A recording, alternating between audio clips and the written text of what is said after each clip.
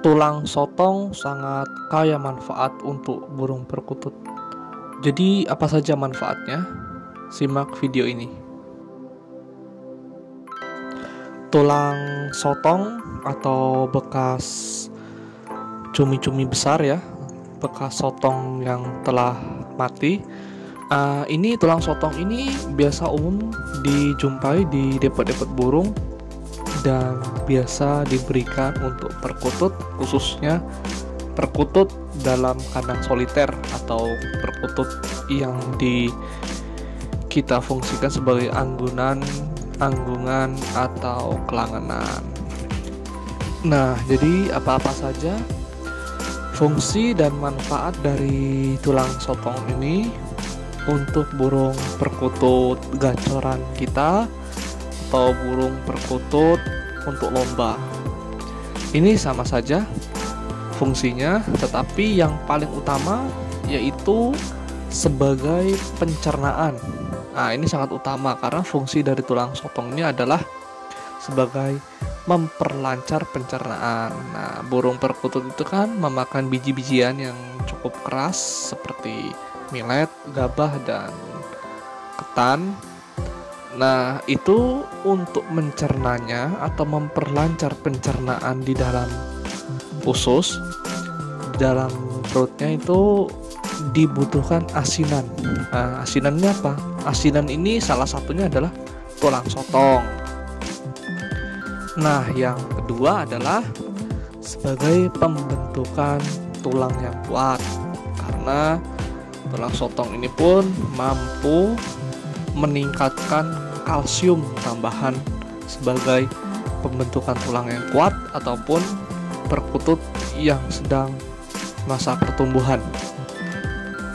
Yang ketiga, untuk mineral tambahan sebagai salah satu unsur penting dalam kesehatan. Ini adalah mineral alami yang bisa diperoleh perkutut apabila di hutan biasanya dia ngasin di pasir-pasir. Nah, inilah pengganti dari asinan tersebut. Nah, itu fungsinya adalah mineral apabila kita mendapati burung perkutut yang sedang makan pasir di suatu kebun ya.